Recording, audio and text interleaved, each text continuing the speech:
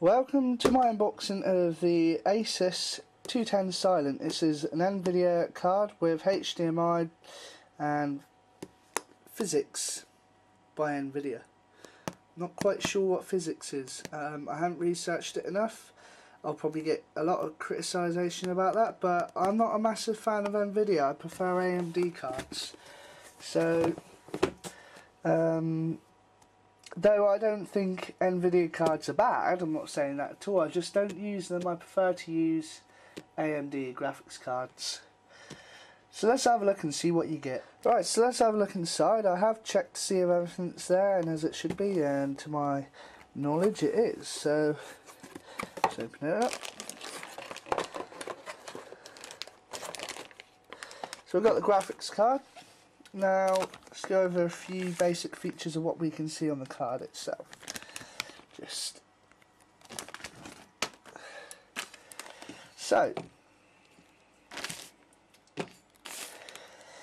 Um, well, straight away we can see it's got passive cooler, so there's going to be absolutely no noise whatsoever. Now, there is instantly a problem that that comes with passive cooling this heatsink is instantly a lot bigger and is not going to fit in a lot of small cases.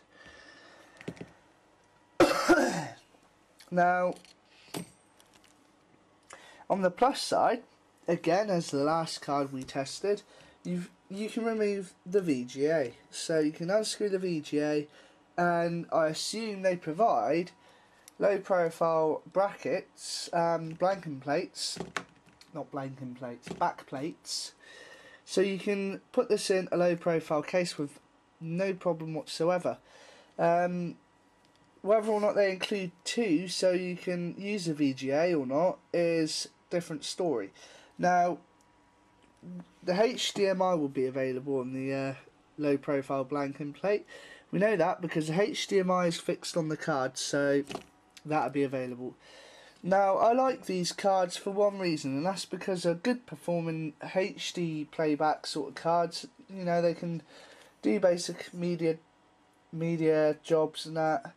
And some of them tend to play low quality games better than what an onboard GPU would.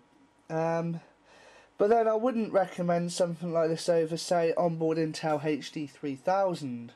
Would not recommend that at all. So or even 4,000, shall I say. Um, it's debatable. It's a very, very debatable subject. So, let's have a look, see what else you get in the box. So, we've got two blanking plates. One is for both HDMI and DVI, and one is for the VGA to go on the top which allows you to use all the, all the outputs. You've also got a speed setup guide by ASUS. So let's have a look at this. Comes in multiple languages so you don't have to read through the whole book. Though you shouldn't really need to read through it anyway unless you're a novice and you're not quite sure on what you're doing. You've got the driver disc that comes with it. Um, install that, then go to ASUS's website and download the latest version or even NVIDIA's website, whatever you prefer.